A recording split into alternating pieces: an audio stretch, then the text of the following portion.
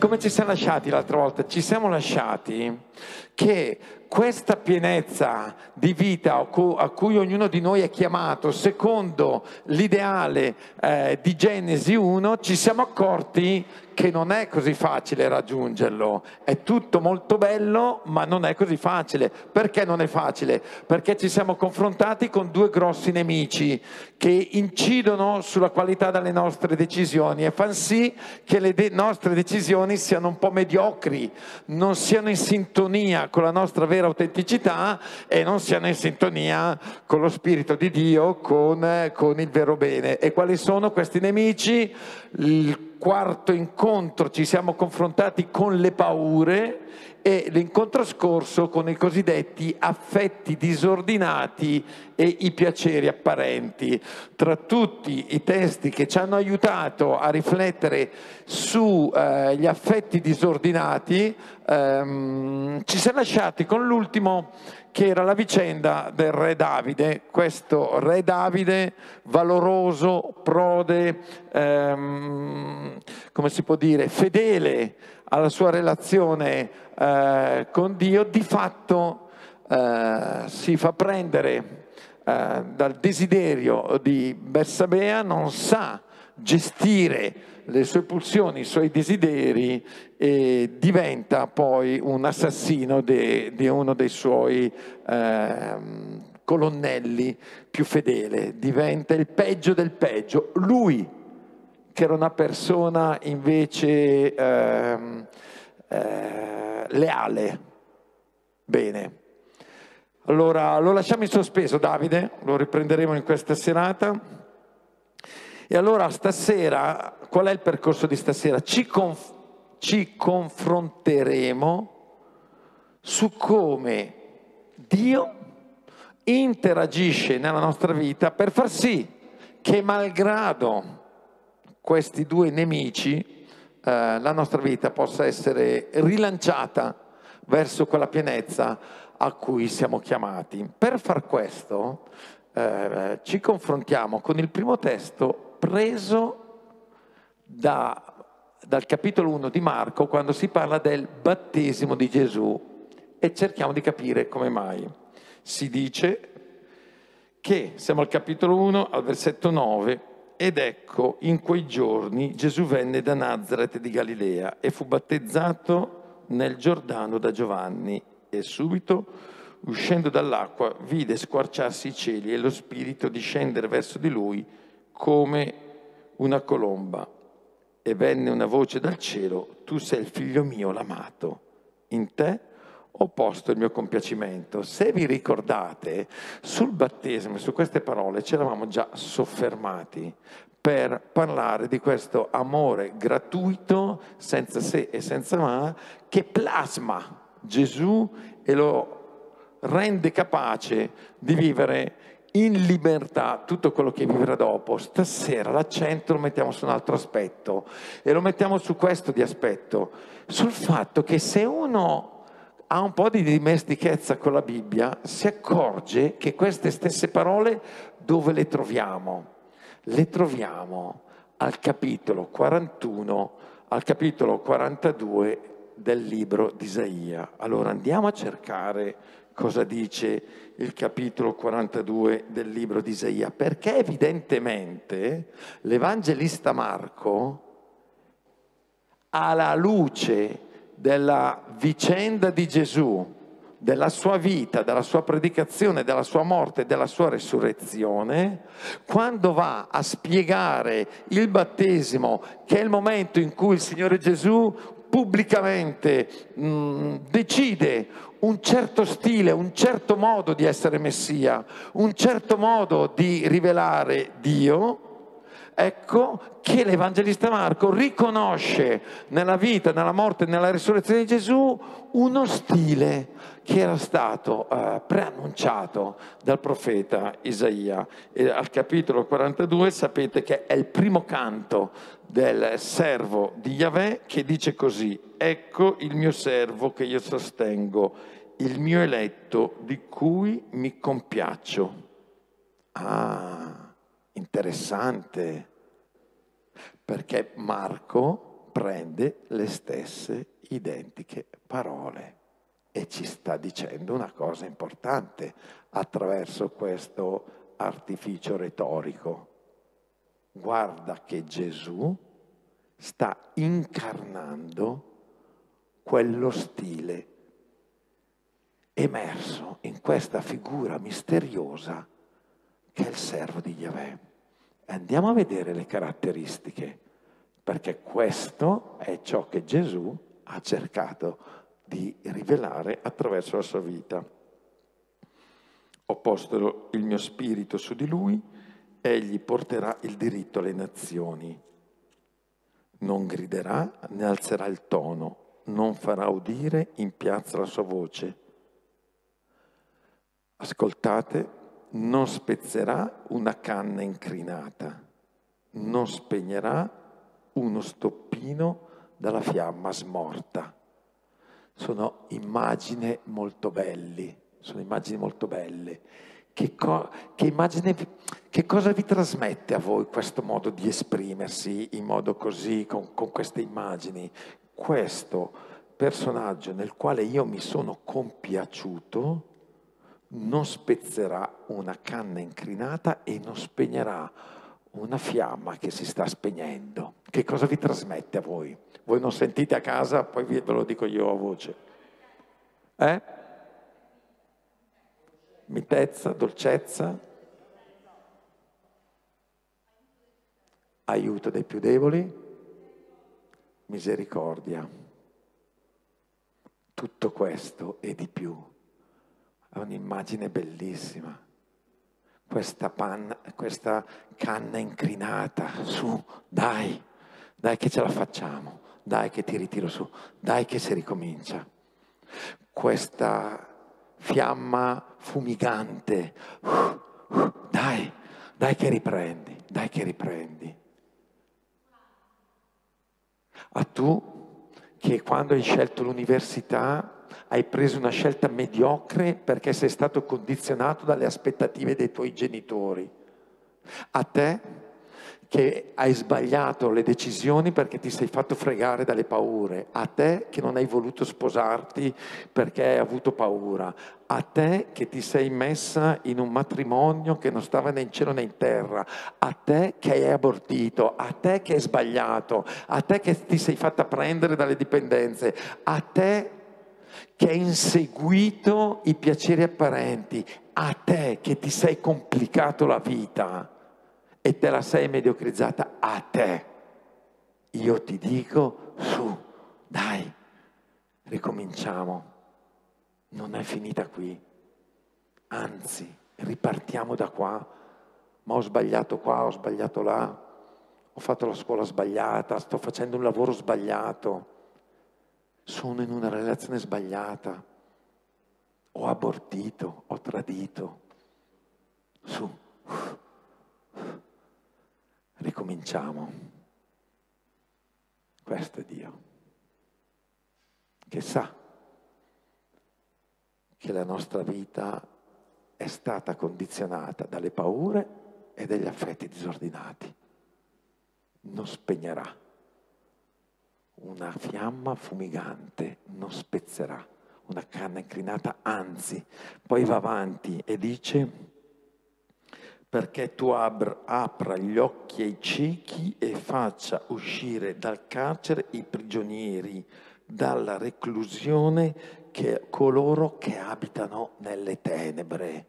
E quindi una, un procedere di Dio che va nella linea del liberare dalla carcere, dalle tenebre, un'esperienza di liberazione, liberazione dalle mie eh, criteri che, come dicevamo, rispetto agli effetti disordinati, magari ho assunto criteri assolutizzando valori relativi o, o piaceri apparenti che mi hanno, mi hanno obnubilato mi ha fatto prendere scelte mediocri, superficiali, improvvisate, a caso, in balia degli stati d'animo, delle emozioni, delle voglie, delle paure. Ecco, il mio servo in cui mi sono compiaciuto farà sì che le persone avranno luce, le libererà dal carcere. Questo è l'azione di Dio per rilanciare la nostra vita. E lo facciamo riflettendo su alcuni passi scelti, potremmo sceglierne molti di più, scegliamo questo. Mi piace molto questo, uno dei primi miracoli di Gesù nel Vangelo di Marco, siamo al capitolo, al capitolo 1 di Marco, versetto 40, dice così, venne da lui un lebroso che lo supplicava in ginocchio e gli diceva, se vuoi puoi purificarmi. Fermiamoci un attimo e ragioniamo. Intanto ragioniamo, ragioniamo sulla lebbra. Voi sapete che la lebbra è una malattia particolare. Perché? Perché tu sei vivo, ma una parte della tua carne è in putrefazione come quando si è morti. Quindi anche puzza da morto. Quindi tu sei vivo, ma sei un po' morto. Allora, attenzione, perché dice qualcosa anche alla nostra vita.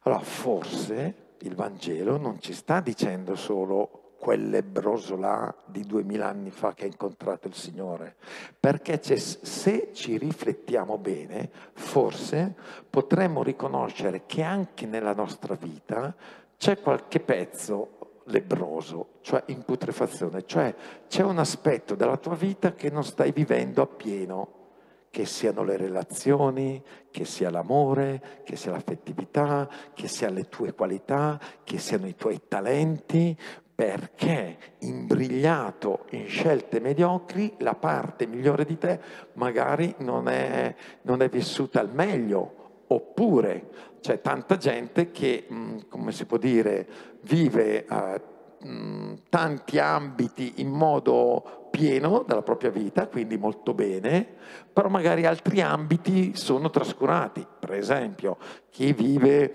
eh, il lavoro facendo una bella professione, che è bello contento, ma gli prende l'85% del tempo, delle energie, da una parte benissimo, dall'altra parte però c'è una parte della tua vita che è un po', che è un po in putrefazione, appunto potrebbe essere il servizio la dimensione del servizio agli altri, potrebbe essere la meditazione, potrebbe essere lo svago, potrebbe essere lo sport, potrebbe essere la famiglia, potrebbero essere le relazioni o viceversa. Cioè verificarsi, e anche nel tempo di silenzio che avremo a casa, ma c'è quale parte della mia vita mi sembra che non la sto vivendo appieno. Allora capiamo che la lebbra non è solo quella cosa. Sono vivo, ma c'è una parte di me che è un po' morta. E ognuno ha le sue. Ah, aspetta un attimo allora, perché questo brano sta parlando di me, che ha motivo, abbiamo detto, delle paure e degli affetti disordinati, qualcosa abbiamo sbagliato, qualcosa non ci ha fatto vivere in pienezza qualche ambito della vita, qualche aspetto. Interessante, allora andiamo a vedere come questo lebroso si pone con Gesù e come Gesù si pone con questo lebroso, perché così come si pone con questo lebroso, si pone con noi, per quello ci interessa meditare su quello che Gesù ha fatto duemila anni fa, perché attraverso quello che meditiamo oggi, ciò avviene con noi oggi, per questo ci interessa. E dice così, e vi, vorrei chiedere, lo supplicava in ginocchio e gli disse, se vuoi puoi purificarmi. Che modo di, che modo di chiedere è questa cosa qua? Se vuoi puoi purificarmi. Come lo intendereste questo modo di esprimersi? Poteva dirglielo in tanti modi, invece esordisce così, se vuoi puoi purificarmi. Cosa vi trasmette questo modo di, di domandare? Cosa c'è sotto secondo voi? Cosa, cosa trasmette? No, mica tanto affidamento, perché dice se vuoi. Autorevolezza, dubbio, se vuoi, no, può, se, se può, però ah, se poi dici ti prego guariscimi, tu che puoi guariscimi. Esodo dice se vuoi. Cosa vuol dire? Dubbio, incertezza. Cosa dicevamo lì? Arroganza del, del lebroso.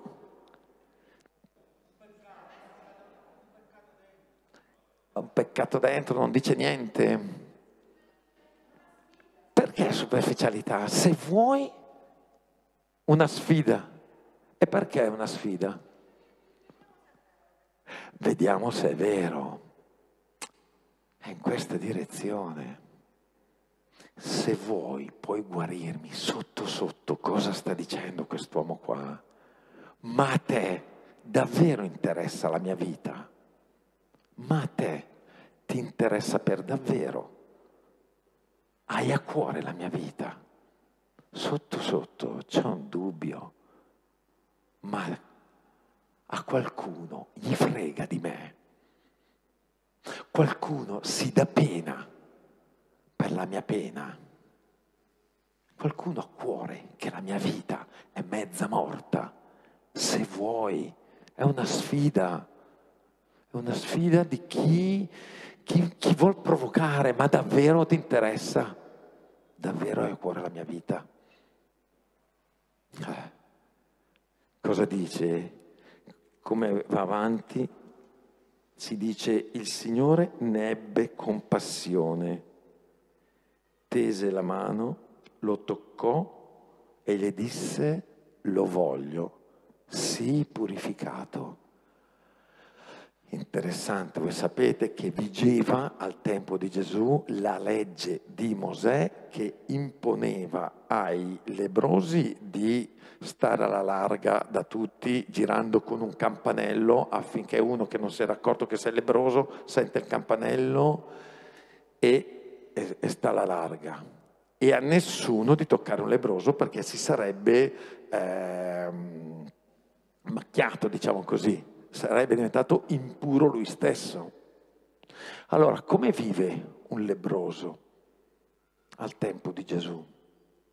Che, abbiamo detto, un aspetto della tua vita non funziona.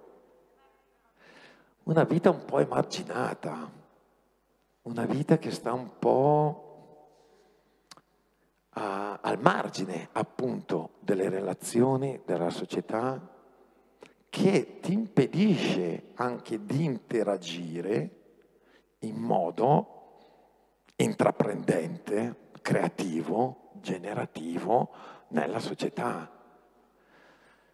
Ah, ma se sono queste le caratteristiche, ma quante persone, quante persone vivono così, ai margini, eh, incapaci di interagire positivamente, creativamente, generativamente nella società. Ma quanti? Ah, ma aspetta un attimo allora, ma quindi alcune caratteristiche di questo lebroso ce le ho anch'io. E siccome ci stiamo dicendo che ciò avviene a motivo delle tue paure e dei tuoi affetti disordinati e ci troviamo a vivere vite in cui non viviamo al meglio le nostre potenzialità, le nostre qualità, in cui alla fine ci costruiamo il nostro orticello con le nostre sicurezze, la nostra casa, il nostro salotto, la nostra televisione, la nostra villa al mare, i nostri hobby, punto. Allora, questo, su questa vita interagisce il Signore che ha come scopo liberare, rialzare la, pa- la canna incrinata, soffiare sulla fiamma perché riprenda ardore. Dice, ebbe compassione. A Dio dispiace le nostre fatiche. Dio soffre.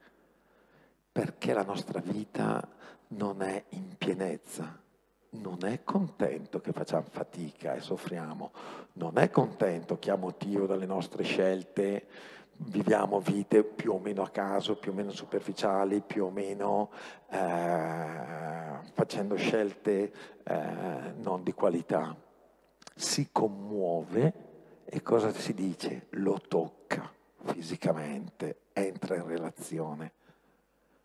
Io presente a, a Genova che lavoravamo con i senza fissa dimora una dinamica tipica di quando un senza fissa dimora chiede l'elemosina lungo la strada o dorme sotto i, i, i, porticati e chiede, siccome stando anche sulla strada non sono proprio pulitissimi, a un certo punto sono disordinati, anche se sento odore, che la gente anche che fa la carità o, o, o quando si accorge che, che, sta parlando e vede che c'è un senza fissa dimora prende le distanze, la prende larga, oppure a distanza gli lascia la carità. Ecco, il Signore entra. Dire che lo tocca vuol dire eh, tante cose. Interagire con la tua vita vuol dire un Signore che è libero anche dalle regole, dalla religiosità, se ciò impedisce il vero amore. C'è una religiosità che può diventare un impedimento all'amore e alla carità. C'è un legalismo di cui Papa Francesco continuamente denuncia anche nella Chiesa, che diventa un impedimento alla misericordia, all'amore e alla carità. Ecco, il Signore entra in contatto, lo voglio, sii purificato. Questo guarisce, si dice nel Vangelo, e viene, uh, viene riabilitato a entrare nella comunità, nella società e finalmente tirare fuori il meglio di sé. Ma si dice nel Vangelo che, io ve lo, ligo, ve lo dico, che così facciamo prima, ma quello si eh, allontanò e si mise a proclamare, a divulgare il fatto, tanto che Gesù non poteva più entrare pubblicamente in una città, ma rimaneva fuori in luoghi deserti e venivano da lui da ogni parte. Interessante, perché a Gesù non è gratis salvare la vita di questa persona. Non è un di più come quando io faccio l'offerta e vabbè è un di più ma non mi cambia niente la vita.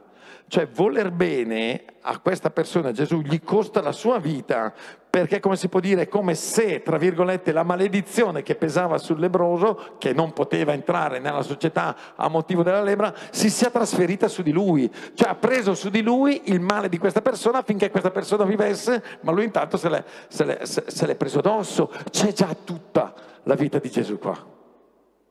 Ha preso ci i nostri peccati affinché il nostro peccato lo pagasse lui e noi potessimo essere liberati e non schiacciati dai nostri peccati tutta la vita di Gesù, sta roba qua. Bene. E poi usiamo un altro brano che mi piace molto, tra i tanti possibili. Prendiamo il capitolo 5 di Giovanni, dal versetto 1.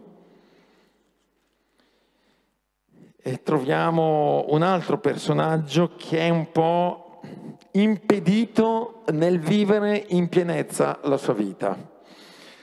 Lo troviamo qua, dopo questi fatti ricorreva una festa dei giudei e Gesù salì a Gerusalemme. A Gerusalemme, presso la porta delle pecore, vi è una piscina chiamata in ebraico Bezzatà, con cinque portici, sotto i quali giaceva un grande numero di infermi, ciechi, zoppi, paralitici, si trovava lì un uomo che da 38 anni era malato. Ci fermiamo un attimo. Allora sarebbe interessante quando verrete in Terra Santa, quando verrete a Gerusalemme, chi c'è già stato lo ha già vista, questa piscina eh, a cinque portici che per anni e anni gli archeologi si sono, si sono, si sono chiesti ma com'è questa piscina a cinque portici, un pentagono, come sarà? Finalmente anni fa con gli scavi saltata fuori questa piscina, questa stessa piscina con cinque portici del tempo di Gesù è ancora adesso a, a Gerusalemme. Bene, Questa piscina aveva una tradizione, ripeto, non ci interessa approfondire tutto eh, in queste serate qua, ma solo avere degli spunti per, per riflettere. Questa piscina era già per tradizione eh, una piscina le cui acque si pensava fossero miracolose. Infatti ci sono un sacco di ex foto proprio in gesso, in marmo, la gamba, il ginocchio, il piede, già 200 anni prima di Cristo. Quindi in qualche modo eh, il tempio era un tempio pagano prima, prima di Gesù. Interessante. Bene, ci interessa poco. Fatto sta che lì questa gente storpi, ciechi, eh, zoppi che eh, stanno lì perché si dice che quando le acque si muovono in un certo modo il primo che salta dentro guarisce. Bene, lasciamola lì sta roba, ma ci interroghiamo con questo paralitico che si dice che da 38 anni eh, ave, era, era paralitico appunto. Allora proviamo a entrare nella psiche e, e, e nell'umore eh, e nella sua attitudine esistenziale di un paralitico che è su un lettuccio. Per esempio, una persona così, che è lì da 38 anni, secondo voi quale sarà il suo umore, quale sarà la sua psiche? Proviamo a interagire. Un po' rassegnato, io lo dico alta voce perché mi vedono da casa che voi non vi sentono. Quindi un po' rassegnato, rassegnato e poi disilluso, poi arrabbiato, lo dico, arrabbiato con chi?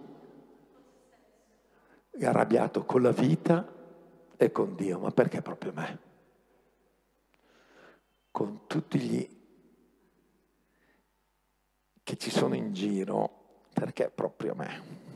Quindi arrabbiato, disilluso, eh, rassegnato. Poi uno che è paralitico, eh, come si può dire, avrà grandi desideri, avrà una grande progettualità su cosa potrò fare, su cosa potrò inventare, su cosa potrò costruire? No, il suo orizzonte sono quei quattro metri lì, un po' apatico. E bene. E in qualche modo diciamo che un paralitico più o meno è fermo. Cioè la vita passa, gli anni passano, ne ha 38, si dice tanti anni, l'esperienza che gli anni passano, gli altri vanno avanti e io sono lì. Gli altri fanno, costruiscono, si sposano, fanno figli, cambiano lavoro, si laureano.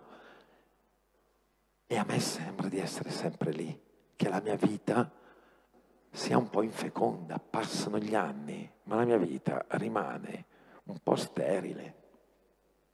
Ma non solo, l'essere arrabbiati, disillusi, rassegnati, produce produce intraprendenza, produce creatività, produce coraggio, produce i pensieri più intelligenti, più belli, più creativi, più, più realizzanti. No, la delusione, la rabbia, il senso di impotenza, l'incazzatura e il sentirsi un po' fermi, a sua volta diventa un circolo vizioso per cui sei sempre meno fiducioso nella vita, sei sempre meno intraprendente, quindi sempre più rassegnato, sempre più incazzato. Un circolo vizioso, non potrà funzionare sta vita.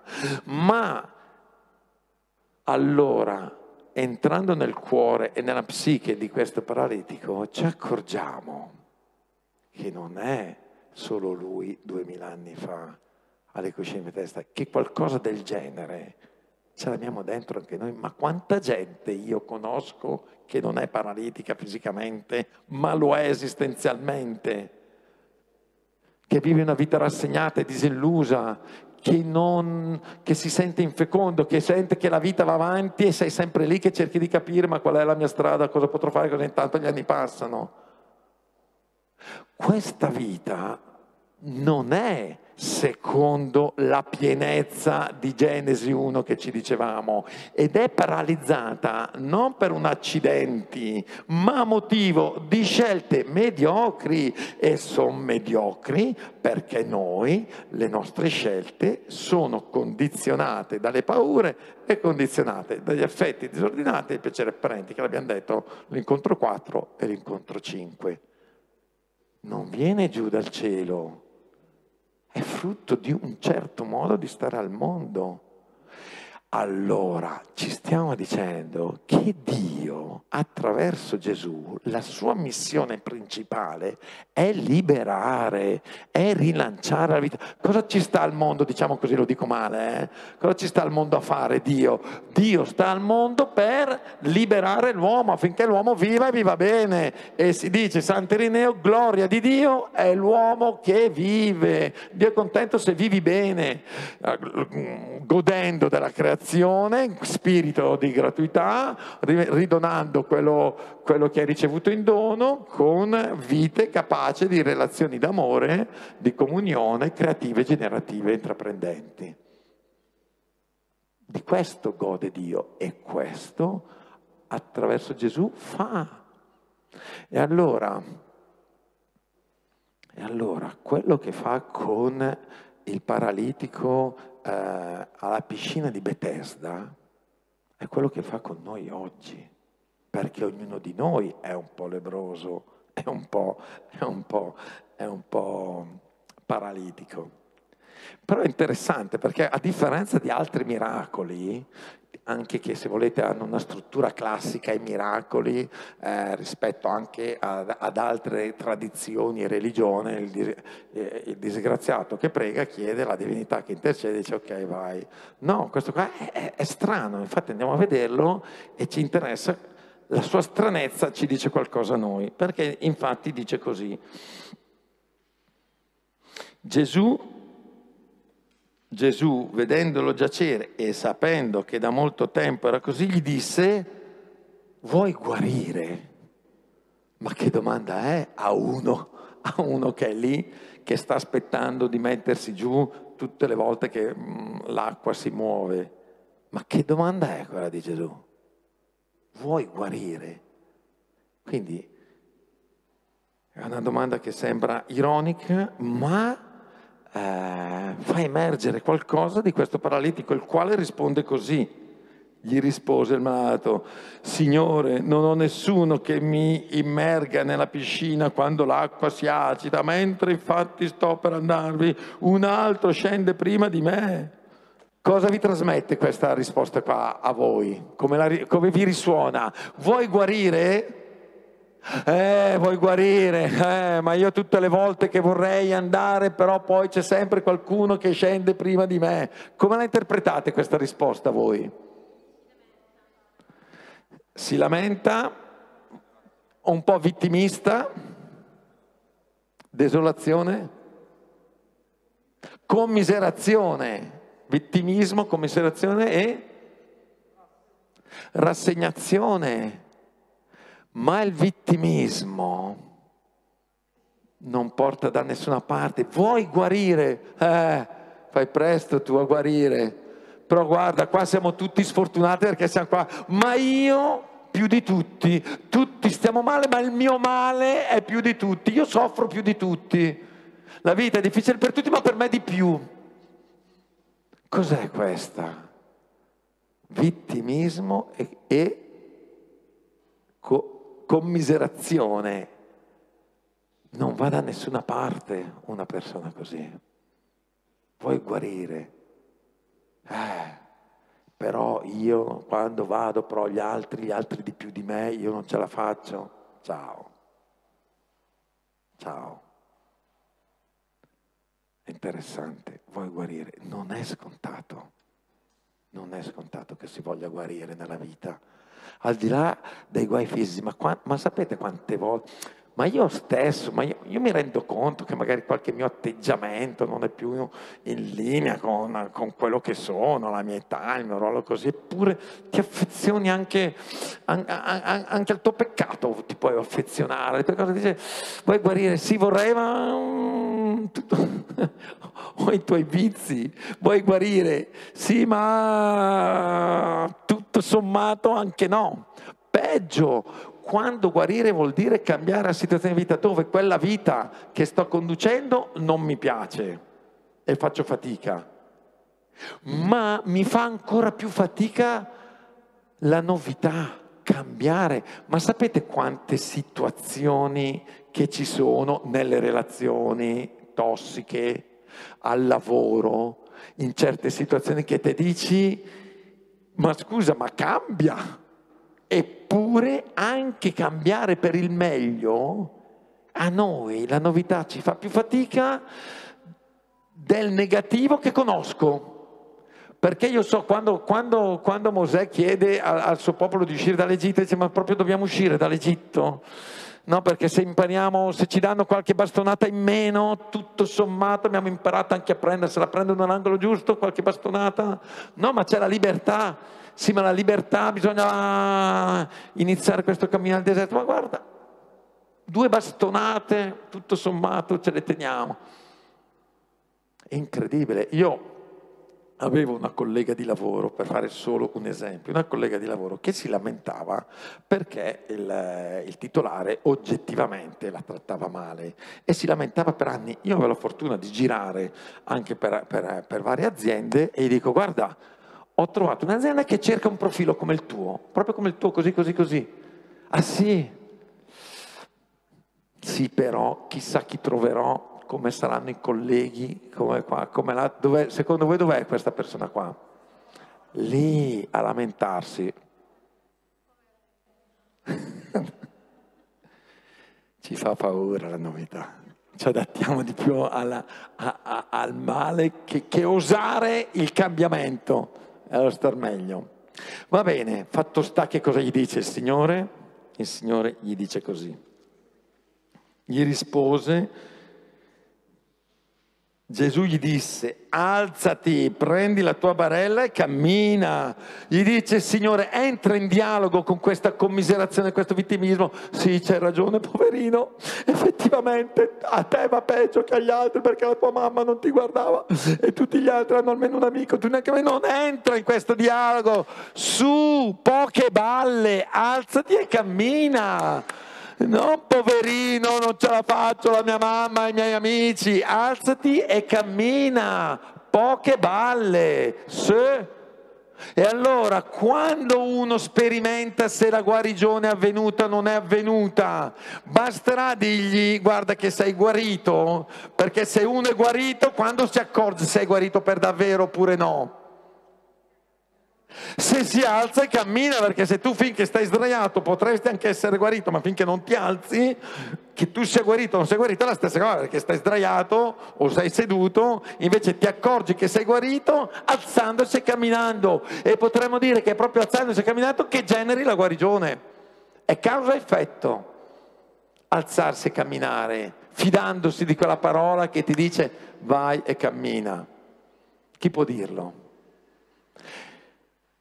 Questo è il paralitico, si alza e va. Poi tutto il capitolo va avanti con altre dinamiche, ma a noi ci interessa questo. Ma allora, chi è Dio? In Gesù è colui il quale rilancia la vita di ognuno di noi, la rimette in moto, infonde coraggio, consolazione, non spezzerà una canna, dai che ce la facciamo, no non ce la faccio più, dai che ce la facciamo, no non ce la faccio più, dai che ce la facciamo. Una fiamma smorta, ma io ho sbagliato tutto nella vita, ecco, non preoccuparti. A tutti i miracoli di Gesù vanno interpretati in questo modo, che non è curare il ginocchio, l'udito, il cieco, perché di, di, curare il mal di ginocchio non interessa niente al Signore Gesù, interessa curare la vita, è ben di più che curare il difetto fisico o il dolore fisico, è rilanciare una vita Non è mica solo questione ho la gamba rotta ma la giusta, perché se tu hai la gamba rotta e te la aggiusti e non sai cosa fare della tua vita, ma non serve a niente che tu abbia la salute, anzi tanta gente con la salute si butta giù dal ponte perché, perché è mezza disperata, non sa cosa fare della vita. Ma non è questa la guarigione che interessa Gesù. La guarigione che interessa a Gesù è guarire la vita sua, nel suo insieme affinché tu stia al mondo da persona libera, autentica, coraggiosa, generosa, intraprendente, generativa. Questo interessa, che non è la gamba rotta o il mal di pancia. Bene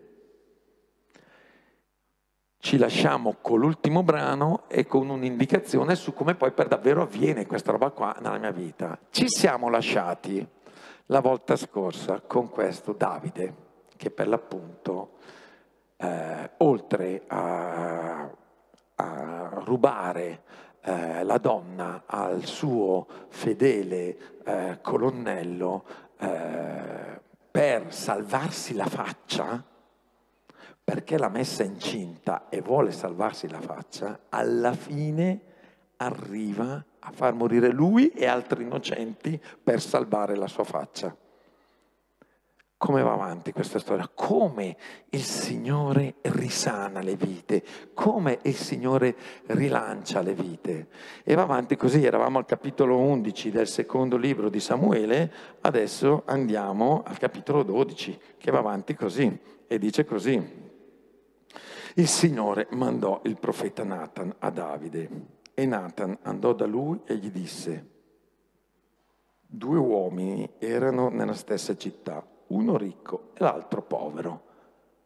Interessante, Nathan non va da Davide a dirgli guarda sei veramente uno schifoso, hai fatto il peggio che potevi fare, pentiti eh, perché sei veramente una merdaccia. Non lo affronta così, anche perché Davide nel loop del dovere salvare la sua faccia, è disposto a sacrificare tutto e tutti. Quindi non funziona. Inizia con una storiella. Il ricco aveva bestiame minuto e grosso in gran numero, mentre il povero non aveva nulla se non una sola pecorella piccina che egli aveva comprato essere vissuta e cresciuta insieme con lui e con i figli, mangiando dal, del suo pane, bevendo alla sua coppa e dormendo nel suo seno. Era per lui come una figlia. Un viandante arrivò dall'uomo ricco e questi, evitando di prendere dal suo bestiame minuto e grosso quanto era da servire al viaggiatore che era venuto da lui, prese la pecorella di quell'uomo povero e la servì all'uomo che era venuto da lui. Davide si adirò contro quell'uomo e disse Nathan, per la vita del Signore chi ha fatto questo è degno di morte.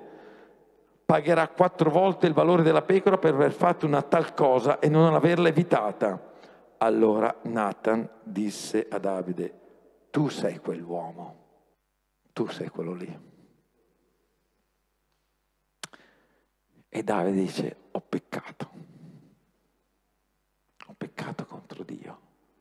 Ma, ma qual è la pedagogia di Dio qua? Che raccontandogli la storia, su cosa sta facendo leva Dio per fargli prendere consapevolezza e mettere in moto un cambiamento dalla sua vita e tirarlo fuori da questo loop e rilanciare la vita di Davide. Su cosa fa leva con questa storiella? Esattamente sulle virtù di Davide, sulla parte buona, la parte leale di Davide, il senso di giustizia che ha Davide, che ce l'ha, che l'ha perso, l'ha obnubilato, ha motivo per l'appunto degli affetti disordinati e piaceri apparenti, ma ce l'ha. E su cosa fa leva Dio? Sul bene sul bello, sul buono. Tira fuori il buono che hai dentro. Tu non sei solo il tuo peccato, tu non sei solo il tuo male. E fa leva su quello, sul tuo, la lealtà di Davide, il senso di giustizia che ha. Lo cura tirandolo fuori ripeto, non accusando, ecco se è una merdaccia, adesso veramente farà così, farà così. No, ma attraverso, facendo leva su questo, fa anche sì che Davide prenda consapevolezza e anche in qualche modo smetta di difendersi di fronte a tutto a tutti cercando di sistemare tutto quello che può sistemare. Sì, ho sbagliato, è colpa mia, ho peccato. Ma quanto è difficile nella vita assumersi le proprie responsabilità e dire ho sbagliato. Noi, io per primo, siamo sempre alla ricerca, sì però quello là mi diceva non volevo, io però è stato lui che mi ha tirato dentro, è stata lei che mi ha tentato, così. No, ho sbagliato. Io sono colpevole è questo che libera nella confessione, non il, il come si può dire, eh, versare la colpa sugli altri, sulle circostanze, ma qua, ma là, ma su, ma giù, io. C'era quando, quando ero in Cile, c'era un, un presentatore cileno che prendeva in giro una caratteristica dei cileni, che parlava dei cileni, ma secondo me parla degli italiani e, e, certamente, e, certamente, anche di me diceva no perché noi cileni non ci prendiamo mai la responsabilità. Ero a una festa dice sto qua mentre commenta una trasmissione. E su al, al secondo piano si stava bevendo eh, fumando qualcosa uno si appoggia al vaso e cade sotto. E, il, il vaso cade sotto cade sulla testa qualcuno. Cos'è che dice? È caduto il vaso. Ma com'è caduto? io l'ho fatto cadere. No è successo. Ma com'è successo? Impersonale, no? Io. Ah, riconoscere, Davide attraverso questa storia succedono due cose. A, tira fuori il meglio e con quello lo curerà Dio. B, riconosce il male e facendo così può cambiare, può cambiare rotta, può rimettersi in strada, può ripercorrere quella strada di lealtà, di giustizia che lo ha contraddistinto. Bellissimo il Salmo 50 che la tradizione attribuisce a Davide dopo aver parlato con Nata. Pietà di me, Signore, contro di te ho peccato. E lo fa a tu che mi hai sempre aiutato. E te lo posso dire a te, Dio, perché so che mi vuoi bene. So che se anche io ho peccato, tu mi vuoi bene. Ma chi può con, confidare la parte peggiore di sé, il peccato che ha fatto, il male che ha fatto, se a qualcuno di cui non sai se ti vuole veramente bene o se la sua stima nei tuoi confronti dipende se sei in gamba, se sei perfetto, se sei bravo, se sei bello oppure no. Ma io stesso, io mi sento di aprire il mio cuore a chi so che mi vuole bene a prescindere. Se non sono sicuro che uno mi vuole bene e, e, e, e mi stima a prescindere, io non riesco a dirgli ho fatto questa magagna o, o quest'altra. Davide fa questa esperienza con Dio e quindi posso tirarlo fuori e posso essere liberato. Bene, la storia di Davide andrà avanti, qualcuno pagherà il prezzo, Davide gli dirà tu non morirai perché Dio ti ha liberato dal tuo peccato, però morirà il primo figlio, certo, il male ha delle conseguenze. E su questa terra di solito il male del mondo lo portano i piccoli, gli indifesi, gli innocenti. Vedete in Ucraina, chi è che sta sotto le bombe? Donne, bambini, civili, innocenti. Chi è che patisce la fame? Mica i leader. Ma non ci interessa questo, in questo momento il punto era, il punto era Davide. Per concludere l'incontro di stasera è questo, che Dio libera e rilancia la vita. L'abbiamo visto nei brani che abbiamo commentato, ma io vi dico che se qualcuno prendesse sul serio la parola di Dio e per davvero meditassimo sulla parola, vi accorgereste che pian pianino, come dice la lettera degli ebrei, che la parola di Dio è viva ed efficace, se la meditassimo per davvero, succederebbe che pian pianino noi ci sentiamo lo spirito di Dio che dice su, dai, hai sbagliato tutto, ma ricominciamo. No, ma sto andando così, vabbè, ricominciamo. Noi ci sentiremmo, vuoi guarire? Noi ci sentiremmo, sì, lo voglio, sì, purificato, vivi adesso. Noi, pian panino, saremmo purificati dalle nostre paure, dal nostro peccato, dai nostri affetti disordinati. Noi percepiremmo in noi coraggio, fiducia, speranza, intraprendenza, generosità se gli lasciassimo spazio all'azione dello Spirito Santo in noi attraverso la meditazione della sua parola.